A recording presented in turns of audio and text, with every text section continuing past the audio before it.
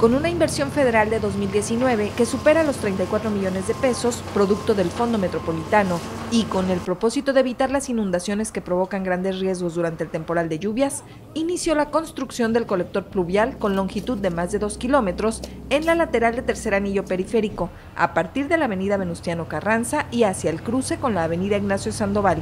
Al respecto, informó el secretario de Infraestructura y Desarrollo Urbano, José de Jesús Sánchez Romo desde aquí hasta un poco arriba de lo que es el paso a desnivel de, la, del tercer anillo con Ignacio Sandoval, ahí es donde está la plaza comercial. El objeto primordial es sacar toda la inundación que, que se viene o que se venía dando en años anteriores en ese punto del paso a desnivel, en la parte alta, pero también en todo su recorrido del colector iremos captando las aguas que, vayan, que se vayan pudiendo. Estamos viendo también que la parte sur,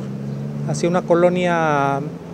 abajo de la, del, tercer anillo también se pasaba agua de la parte norte a través de una alcantarilla, también esa la vamos a, captar, en la mañana platiqué con el desarrollador, y también esa la vamos a captar para también evitar que a la parte sur se le pasen algunos flujos de agua que antes no tenía. El funcionario detalló que la tubería que se instalará tendrá un diámetro aproximado de un metro y medio y que la descarga del agua tendrá como fin el río Colima. Precisamente una de las razones por la que vertimos al río Colima es porque en este momento es el que más capacidad tiene. El proyecto original que tenía el Ayuntamiento de Colima, bueno, lo tenía también en Seidur,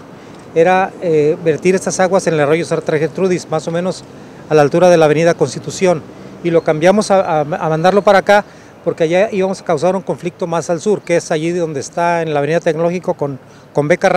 Que cada año se desborda. Entonces, por eso tomamos la decisión de que fuera un colector más largo,